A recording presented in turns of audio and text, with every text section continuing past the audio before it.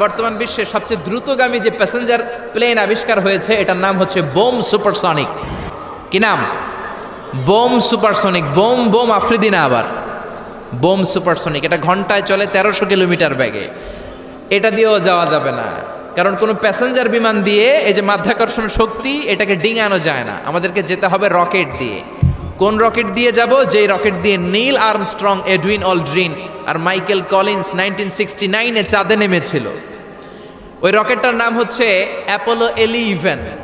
যারা যারা হাত তুলছেন, একটু নামটা মুখস্থ রাখেন, অ্যাপোলো এলিভেন। তা না হলে আপনি ঘুরে আসলে লোকেরা জিজ্ঞেস করতে পারে, কোন রকেটে গেছিলেন? তখন বলতে হবে না, অ্যাপোলো এলিভেনে গেছিলাম। তো ঠিক আছে, যারা যারা হাত তুললেন, তারা আর আমি এখন পৃথিবীর সবচেয়ে, পৃথিবী থেকে সবচেয়ে কাছের যে তারাটা প্রক্সিমা সেন্ট্রয় তার নাম, ওইখানে পিকনিকে যাব। তো এই যে রকেটটা দিয়ে যাব অ্যাপোলো এলিভেন এটা কত দ্রুত চলে? এটা আগে শোনেন। এই অ্যাপোলো এলিভেন সেকেন্ডে চলে এক এগারো কিলোমিটার ব্যাগে মিনিটে চলে ছয়শো ষাট কিলোমিটার ব্যাগে আর ঘন্টায় চলে উনচল্লিশ হাজার কিলোমিটার ব্যাগে সুবানাল্লাহ মজা করে কইতে পারলেন না? উনচল্লিশ হাজার কিলোমিটার ব্যাগে ঘন্টায় চলে। আচ্ছা বাংলাদেশ থেকে আমেরিকা কত কিলো হবে? আট দশ হাজার কিলো? তার মানে এই রকেটটা দিয়ে বাংলাদেশ থেকে আমেরিকায় এক ঘন্টায় চারবার আসা যাওয়া করা যাবে। সুবানাল্লাহ পড়েন? তো যারা যারা হাত তুলেছেন, আসেন আমরা এই রকেট দিয়ে পৃথিবীর সবচাইতে কাছের তারা প্রক্সিমা সেন্ট্রাইতে শীতকালের পিকনিকে যাব। কিন্তু যাবেন যে কত সময় লাগবে, এটাও তো জানার দরকার আছে না নাই? যেই রকেটটা অ্যাপোলো এলিভেন ঘন্টায় চলে কত হাজার কিলোমিটার বেগে? উনচল্লিশ হাজার কিলোমিটার বেগে। উনচল্লিশ হাজার কিলোমিটার বেগে ছোটে এরকম একটা রকেট দিয়ে যদি পৃথিবীর সবচেয়ে কাছের তারায় আমরা পৌঁছতে চাই, আমাদের এক লক্ষ পনেরো হাজার বছর লেগে যাবে। কেন ইমাজিন? আপনি কল্পনা করতে পারেন? যে রকেটটা ঘন্টায় ছুটবে আপনাকে নিয়ে উনচল্লিশ হাজার কিলোমিটার ব্যাগে ওই রকেটটা দিয়ে পৃথিবীর সবচেয়ে কাছের যে তারাটা, ওইটাতে পৌঁছতে আমাদের এক লক্ষ পনেরো হাজার বছর লেগে যাবে। তার মানে আল্লাহ যদি বলে, যা আজারি, কি আর করবি? তোর যখন এত শখ হয়েছে যারা যারা হাত তুলছে তোরে, আর ওদেরকে আমি এক লক্ষ পনেরো হাজার বছর হায়াত দিয়ে দিলাম। তা আমরা যদি যাইতে শুরু করি, বাকি যারা হাত তোলা নাই, এরা মরে ভূত হয়ে যাবে। শুধু এরা না, এদের নাতিপুতিও মরে শেষ, আমাদের নাতিপুতিও শেষ। সবাই মরতে মরতে মরতে মরতে ছয় হাজার প্রজন্ম, ছয় হাজার জেনারেশন যখন মরে ভূত হয়ে যাবে, তখন আমাদের ওই তারার মধ্যে নামার সময় হবে। সুমানাল্লাহ কবেন না? গ্রিক সভ্যতার সময়কালে গ্রিকদের একটা সভ্যতা আছে, নাম শুনছেন না? গ্রিক সভ্যতা, মিশরীয় সভ্যতা, মেসোপটেমিয়াম সভ্যতা, ইনকা সভ্যতা, মাহেঞ্জোদারো সভ্যতা, চিচেন এজ্জে সভ্যতা। তো এই যে গ্রিক সভ্যতার সময়কালে কেউ যদি এই প্রক্সিমা সেন্ট্রাইতে এই রকেটটা দিয়ে যাওয়া শুরু করতো, তাহলে দু হাজার আঠারো সালে তাদের পুরো ট্যুরের, পুরো সফরের মাত্র চার পার্সেন্ট কমপ্লিট হতো। ছিয়ানব্বই পার্সেন্ট ট্যুর তখনও বাকি থেকে যেত, চিল্লায় পড়েন। আল্লাহ একবার ওই আল্লাহ ডেকে বললেন, গোলাম দুনিয়া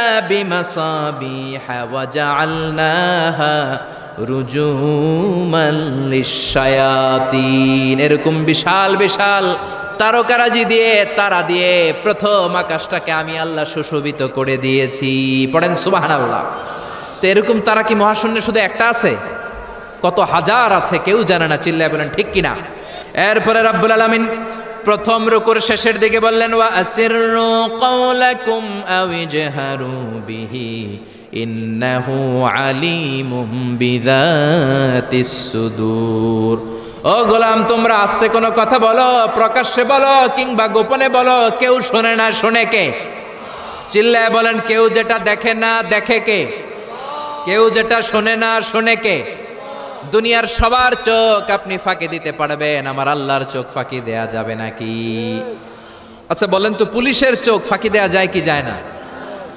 র্যাবের চোখ, বিমানবন্দরে কাস্টমস অফিসারের চোখ দুর্নীতি দমন কমিশনের অফিসারের চোখ, পরীক্ষার হলে ম্যাজিস্ট্রেটের চোখ, কিন্তু আমার আল্লাহর চোখ ফাঁকি দেয়া যায়। আপনি রাত্রিবেলা দরজা বন্ধ করে জানলা আটকে দিয়ে বাতি বন্ধ করে পাপ করেছেন, অন্যায় করেছেন, কেউ দেখে নাই। দেখেছে কে?